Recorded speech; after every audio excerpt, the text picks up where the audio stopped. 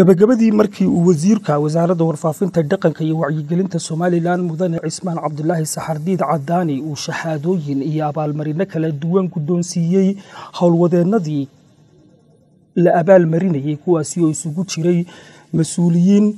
iyo sida oo kale howlwadeenno ka howlgalay dhinacii abaaraha iyo sida oo kale abaalmarino la xidhiidha. Dhinaca shaqadooda ayaa waxaa sidoo kale wasiirka ay shaqaaluhu guddoonsiiyeen abaalmarin uu ku mutaystay howlkarnimada shaqo daacadnimada iyo sida oo kale sinaanta xuquuqda shaqaalaha. Axmed cismaan batuun oo ka mid ah wariyayaasha wasaaradda warfaafinta gaar ahaan raadiyow hargeysa islamarkaana ah barnaamij soo saarayaasha ugu firfircoon ayaa afka shaqaalaha ku hadlay islamarkaasina wasiirka guddoonsiiyey abaalmarinta ay u soo diyaariyeen shaqaalaha ka howlgala wasaaradda warfaafinta somalilan bismillaahi raxmaan raxiim assalaamu calaykum waraxmatullahi wabarakaatu dhammaan madaxda sharafta leh ee wasaaradda warfaafinta waan salaamayaa iyo shaqaalaweynaha waxaan u mahad celinayaa shahaadada sharafta lagu siiyey tayeenta iyo macalinimada aad baan idinku mahad celinayaa dhammaantiin. Asalaamu calaykum waraxmatullahi wabarakaatu bismi illaahi raxmaan raxiim alxamdu lilaahi rabbi alcaalamiin marka ugu horaysa ilaahay baa mahadle. Waxaanu halkan uga mahad celinayaa wasiirka wasaaradda warfaafinta dhaqanka iyo wacyigelinta jamhuuriyadda somalilan mas'uuliyiinta kale wasiiru dowlaha wasiir ku-xigeenka wasaaradda warfaafinta madaxda kale ee wasaaradda warfaafinta iyo dhammaanba howlwadeennada iyo shaqaalaha wasaaradda warfaafinta qaybaheeda kala duwan. Sacaadatu wasiir aada iyo aad baanu kaaga mahad celinaynaa. Abaalmarintan aada noo garateen ee aadana siiseen. Hawshana noo diray ee ahayd hawsha abaaraha tii galbeedka iyo tii barigaba waxay ahayd howl qaran waxay ahayd waajibaad qaran. Waxaanu gudanaynay waajibaadkaa qaran waxaanu gudanaynay waajibaad muwaadinnimo oo na saarnaa waxaanuna ku darnay waajibaadkii iyo hawshiina noo diray taayadii wadannimo iyo tii damiirnimo. Waxaanu wasiir diyaar u nahay howl kasta oo qarankani uu leeyahay in si muwaadinnimo oo daacadnimo aan uga shaqayno sacaadatu wasiir maalintii ugu horeysay wasaaradda warfaafinta lagugu soo qoray. Warxumo tashiilku waxbay nagu yidhaahdeen. Maanta waxaanu leenahay wasiir wadani ah oo wanaag ka shaqaynaya ayaana noo keenay. Wasalaamu calaykum wabarakaatu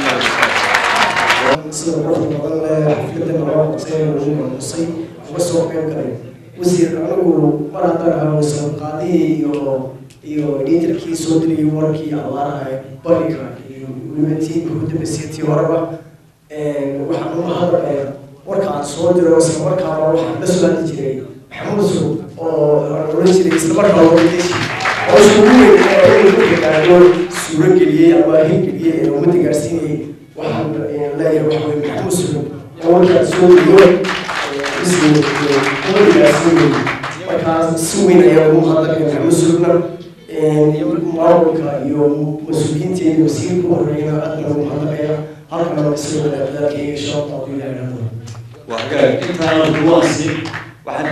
dhex geliyo odaygeena weyn maxamed maxamuud xasan mijir mijir oo runtii ah rukunada halkan aynu ugu wada nimin oo ilaa muddo hore la shaqeynaya anigu adeer سعادة الوزير وزير الحريين وزير ك وزير الدولة.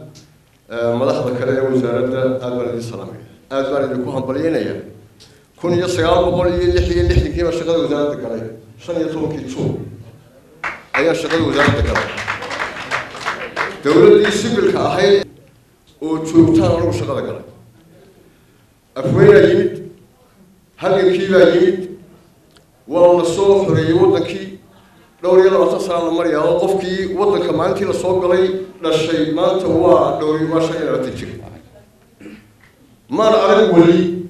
waxaa maykrofoon ku qabsaday waa intaa maan arag weli intaa aan wasaaradda joogay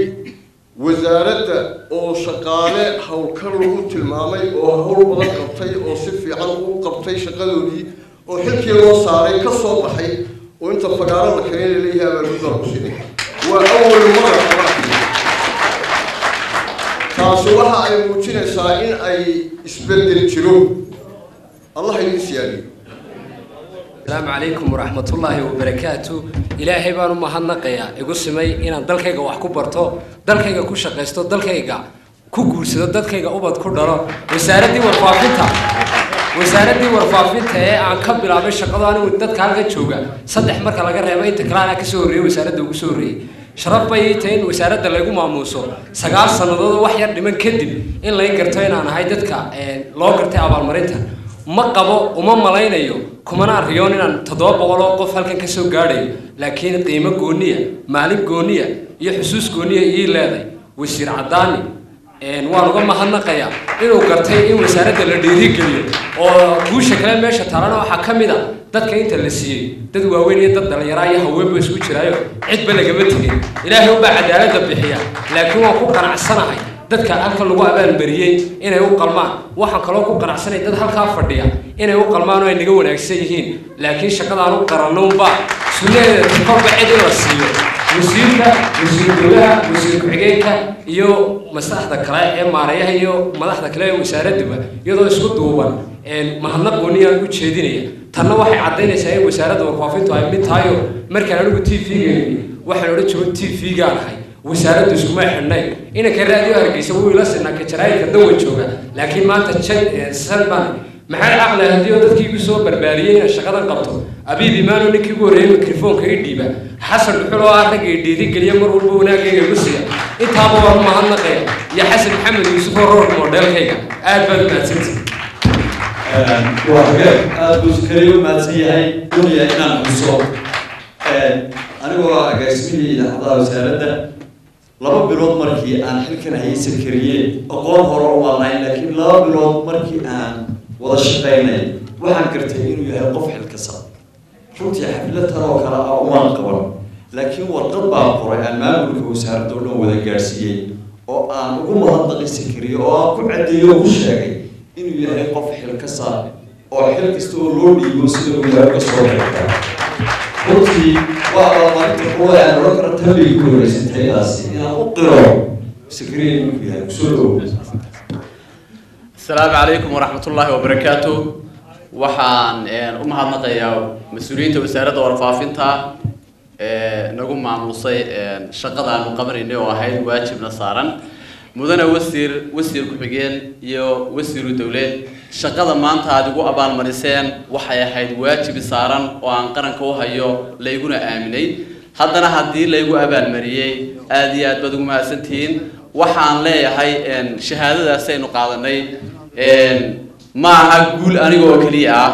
laakiin waa guul u gaadhay xafiiska barnaamijyada idaacadda radio hargeysa waxaana guushaasi iska leh anigu malihii wasiir laakiin waxaa guushaasi leh mas'uuliyiinta iga sarreeya ee xasan maxamed yuusuf iyo maxamed siciid maxamed oo gacanta ii sii daayey shaqadayda ii sii daayey iyo shaqaalaha wasaaradda gaar ahaana waaxda anigu aan maamulay wariyaasha ee barnaamij soo saarayaasha iyo war akhriska xidhiidhiyayaasha iyo presenteriska idaacaddu ay leedahay oo ah kuwa aanu si walaaltinimoa u shaqayno si mas'uuliyiina uma shaqayno. Runtii wasiir aan kuu sheegay maalintii dalka laga magacaabay aad baan uga naxay. Waxaan is idhi ma shaqaalihii aada shaqaalaha la ahayd baad maamuli. Intaasoo ha warwarkee koowaad ay haystay oo aada mas'uulu noqon. Laakiin kuma shaqayno mas'uulnimo iyo shaqaale laakiin waxaan ku shaqaynaa saaxiibtinimo. Waayo qofka saaxiibnimo iyo walaalnimo aad wax kaga qaadi weydo ay deeq weydo canaan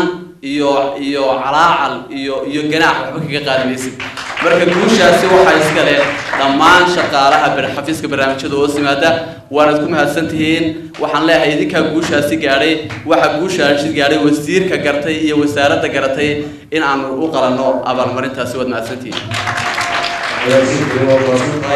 Khadar maxamed caakuule aan ku soo dhaweeye khadar بسم الله الرحمن الرحيم الصلاة والسلام على رسول الله صلى الله عليه وسلم الحمد لله رب العالمين حسك كواد إلهي بيسكال إلهي بانو مهدنقينا إلهي بانو مهدنقينا geeri iyo qabri iyo qiyaama sugaya waan isxasuusinaynaa waan isu dardaarmaynaa cabsida ilaahay meelan joognaba intaa kadib anigu mahadnaqa koowaad guud ahaan wasaaradda madaxdeeda wasiirku ugu horeeyo muxuu ahaayey radio hargeysa iyo telefishinka qaranka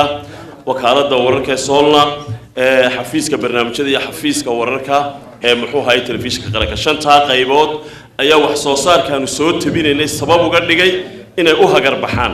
Waxaan qabaa mas'uuliyadda iyo xilkasnimada. Haddii meeshaanu marayna aan cidiba hawl nala qabanin waxba maanaan soo gudbin karneen waan u mahadnaqaya dadkii xarumaha aan sheegay ka joogay ee ka shaqaynayay. Ereyga kale waxaan aada iyo aada ugu mahadnaqayaa aaminsanahay sidii ridwaan bacar rabaabay in dad fara badan oo hablayayna male oo karti iyo aqoon iyo hufnaan iyo muxuuha hibaba leh oo naga wanaagsani joogaan. Laakiin maxaa la yidhaha nasiibkuma maanta muxuuha na siiyey. Waxaan mahadnaq gaara siinayaa inta halka joogta marka laga yimaado intii deegaane aanu marnay dadkii odayaasha ahaa iyo dadkii reer guuraaga ahaa gobolka xaysimo iyo gobolka sool iyo qaybo badan oo ka mida gobolka togdheer waayo idaacadda redio hargeysa iyo telefishinku waxaan labada meelood ee mahadnaqa ugu weyn noo saamaxaya meesha labaad aynu ku soconay inay reemiyiguna tilmaamaan oday reeriyowga dhegta ku hayaana lahaa ma nimankii abaaraheen warkooda sidaa xaaladoodu ahayd waa nimankan halkaana ha la mariyo. Marka runtii warbaahinta waxaan uga mahad celinayaa qaranka jamhuuriyadda somalilan gudashada iyo waajibaadka xilka wuxuun baanan ereygaan u dardaarmaya ay tahay ragguna salaada iyo jamca ha ogaadaan habluhuna insha allahu tacaala ha ogaadaan labiskooda iyo muxuu ahaay carabkooda. Waa mahadsantiin wasalaamu calaykum waraxmatullah sheekh khadar aad ku mahadsan yahay. Waxaan ku soo dhaweynayaa cabdiqurbaani oo laba kelmadooda siin doono. Waxaan halkan ugu mahadnaqayaa wasiirka iyo dhammaan maamulka maamulka oo dhan ayaan salaamaya shaqaalaha idaacadda iyo kuwa t v-gaba horta anu waxaan ahaa ninkii kameramaanka ahaa ee maxamuud xuseen u duubayay editarkan ahaa waxaan halkan uga mahad celinayaa maxamuud sulub oo isagu noo suurageliyey in markaaba warkeeda yimaado. Keeda kale waxaan ku darayaa nimanka somtel cerigaabo oo noo suurageliyey in warkaygaasi saa lagu yimaado. Aad iyo aad baad mahadsantihiin wasalaamu calaykum waraxmatullahi wabarakaatu aan ku soo dhaweeyo mas'uulkii barnaamijyada ee telefishinka qaranka xuseen cabdilaahi deeqsi oo odaygayagii waa cabdilaahi waa xuseen cabdilaahi waa weeyaan runtii waa ninka anigana mikrofoonka i fadhiisiiyey haddaan taariikhda sheegana waxay ahayd waxay ahayd shan iyo tobankii oktoobar kun iyo sagaal boqol iyo shan iyo siddeetankii fifteen october xuseen ninkii mikrofoonka fadhiisiiye aan barbar fadhiistay ayuu ahaa ay uu ku siida hadalka macalin soo dhowo abarban adii maxamed xuseen iyo maxamed siciid baa idiin hayaa runtii maxamed siciid baad gaboojinaysaa waan u mahadnaqayaa guud ahaan mas'uuliyiinta sarsare ee wasaaradda warfaafinta wasiirka wasiir ku-xigeenka wasiiru dowlaha yonis oo la taliyaha wasaaradda oo howlahan aynu wadno oo dhan udub dhexaad u ah inta badan maanta waxaa shahaadooyinka iyo abaalmarinada la siiyey shaqaalaha ugu badan waa shaqaalihii aan xukumayay. Taasaan si gaara ugu sii mahadnaqaya wasiirka warfaafinta inuu daymo gaara siiyey barnaamij soo saarayaashii aanu maamulnay aniga iyo cabdirasaaq oo ku-xigeenkaygu halkan fadhiya wasiirka iyo mas'uuliyiinta kaleba arrintaa gaar baan ugu mahadnaqaynaa mid kalean xusayaa waxaa jira maanta in shaqaalaha halkan fadhiya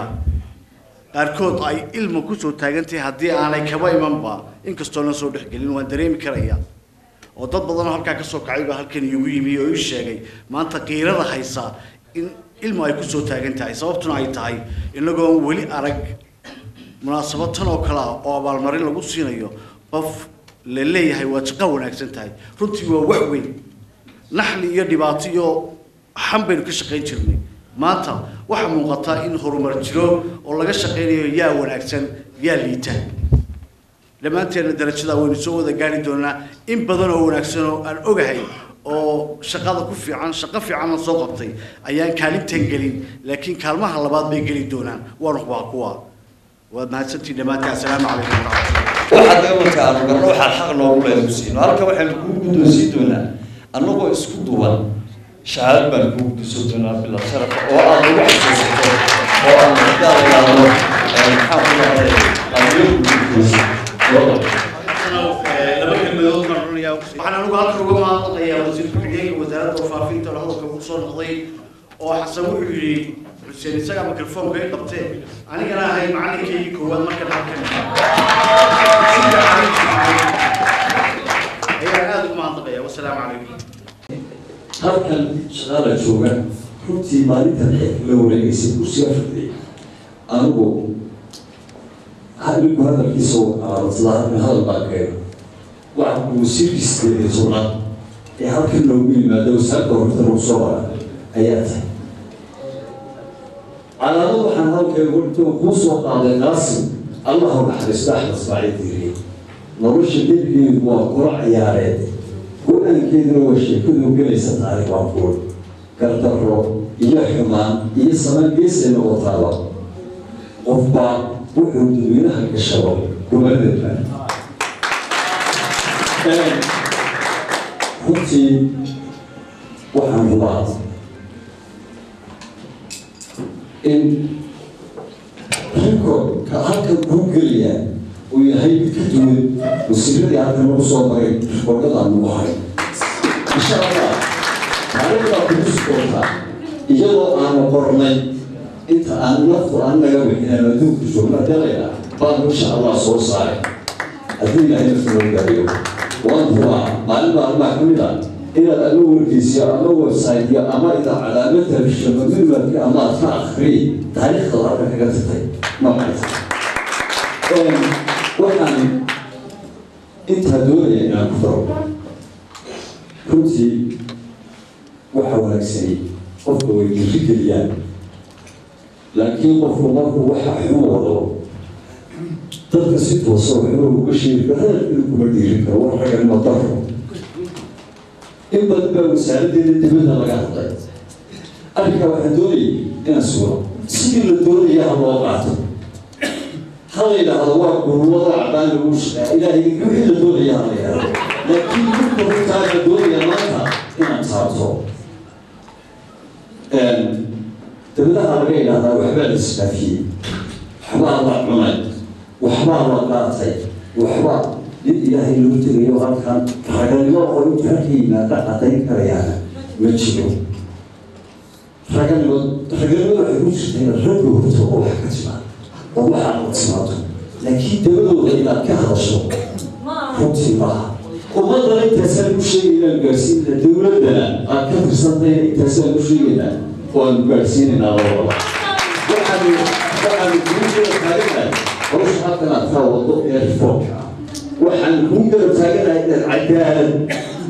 dadka ku soo dabaasho waxaan kuu garab taaganayaa hawl kastoo u ood qabanaysa inaanu kula qabano aad baanu kugu taageeraynaa aad baanu arrintaa kugu soo dhaweynaa garab iyo gaashaanna waad nagagelaysaa annaga iyo shaqaalaha iyaga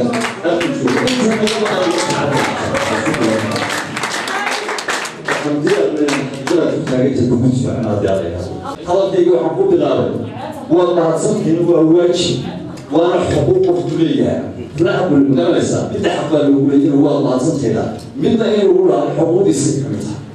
haddaad la maamuustay oo aan xaflad aan hore loo waxaanu garanay inaanu ku oo aanu annaguna waxaad waxaan kuu guddoonsiin doonaa isku duwan shacaal baan kuu doonaa aad uga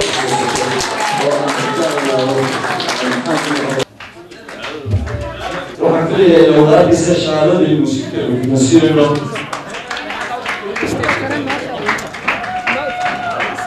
wiilasha canshuura iyo axmed basuur ayaa jeclaya musiikayga ku wareejiyaan sharaabada wasiya axmed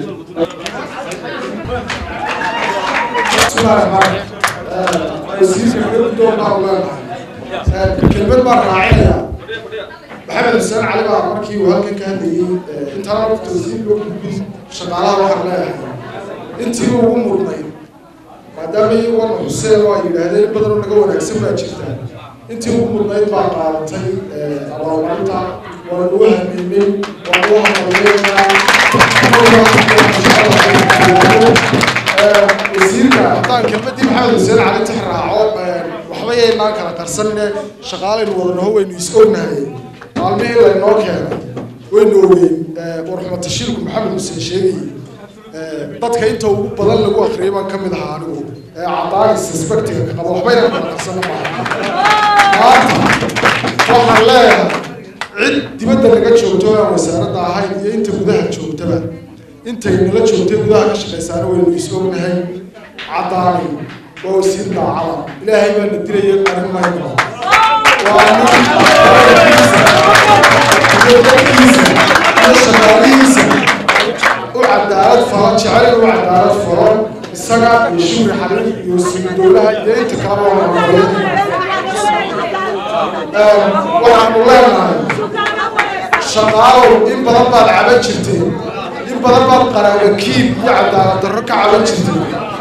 caddaani baa adeegis ku ah oo ka soo jeeda isaga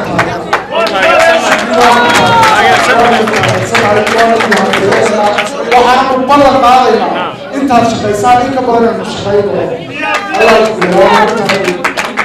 ilaa saddex iyo siddeetankii baan imi anugu wax weyn waa taariikhdii ugu horreysay soo maro abaalmarin sida aad iyo aad baan ugu mahadnaqayaa ee wasiirka iyo ragga uu soo xushayna waa rag u qalma ha loo haleeyo inteeda kalena waynu ka waxaan doonayaa oo kale inaan hortaada kaa xasuusiyo qaadnado wariyeyaasha telefishinka qaranka iyo radioga ee ka howlgala ciyaaraha oo maanta finalkii ay tahay iyagana insha allah ku soo dhawow runtii markaan maqlay waxaan is idhi maan rabin anigu runtaa fiican. Maan doonahayn markii la yidhi waa la soo sameeyeyna waxaan damcay inaan celiyo dabeedna waxaa la waa layga diiday waxaan u qaadayaa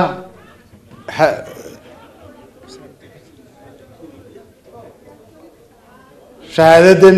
mid aniga maaha waxaan u qaadayaa labada wasiir shukr xariir oo dadka aan ugu jeclay run ahaantii. Qof aad gabadh aad iyo aad qiimo dalkan u leh una soo halgantay iyo wasiira dowlaha waxaan runtii u qaadayaa shaqaalaha dulman ee wasaaradda warfaafinta ama shaqaalo kasta oo dalkan jooga waxaan u qaadayaa dadkii wasaaraddan dhisay ee soo horumariyey ee waktigoodii iyo maalkoodii iyo naftoodaba wasaaraddan u horeynay maxaan ku dhahda ay sameeyaan. Waxaan u qaadayaa wax alla wixii wasiir iga horreeyey sideed iyo tobanka wasiir ee iga horreeyey ee qaranka jamhuuriyadda somaliland waxaan u qaadayaa taliyayaasha waaweyn ee wasaaraddan ee khibradda leh ee wayab ka mid yahay ee yunis cali nuur ka mid yahay ee xuseen ka mid yahay ee siciid aadan ka mid yahay. Waxaan u qaadayaa fanaaniinta iyo xidigaha geeska. Qaranka jamhuuriyadda somaliland jooga. Waxaan u qaadayaa abwaaniinta meel kasta iyo gabayaasha ragga gabyaaga ah iyo hablaha buraanbara buraanbura.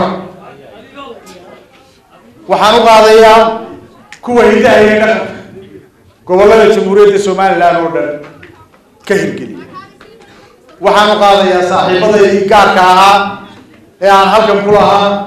waa kooxdii radio horyaal ee aan wada shaqayn jirnay maxaan ku dhahdaa wadda muddada dheer aanu ka wada shaqayn jirnay. Maxaan ku dhahdaa anigoo america jooga maalin walaahi naxariistii jannaasi iyo cabdirasaaq guuled iyo intii kale maxaan ku ay joogtay? Ee aan axad walba la soo geli jiray. Waxaan u qaadayaa maareeyaha t v-ga tafitirayaasha qaybta wareeyayaasha hadday abiib iyo cali iyo ay yihiin waxaan u qaadayaa kuwa degmooyinka iyo gobollada iyo tuulooyinka jamhuuriyadda somaliland maxaa ku dhaha jooga waxaan u qaadayaa kuwa idaacadda iyo kuwa wasaadyada ee aynu doonayna dalkan iyo dadkan inay isku fikir noqdaan inay isku farriin noqdaan inay dad walaalaan oo dalkan iyo dadkii intii u soo dhimatay. Waynu garanaynaa magaca iyo qiimaha hadday fanaaniin ahaayeen iyo hadday abwaane ahaayeen iyo hadday mujaahidiin ahaayeen dalka wixii la soo galay waa gareen aada umahadsantid guud ahaanba munaasabadaasi ayaanu intaasi ku soo gebagabaynaynaa waa dhinaca farsamada iyo iskudubaridka barnaamijka maxamed caqli haddi sawir qaadista khadar xanan iyo sidoo kale cawil cabdi kaahin iyo anigoo ah xasan ismaaciil maxamed xasan shaah oo idin leh nabadgelyo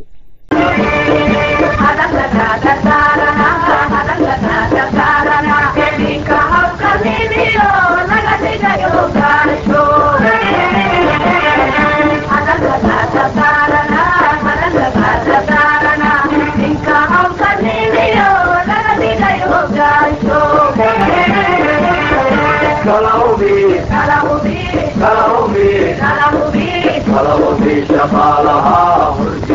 Lacerda. cara Cararumbi. cara Cararumbi. Cararumbi, Cedar.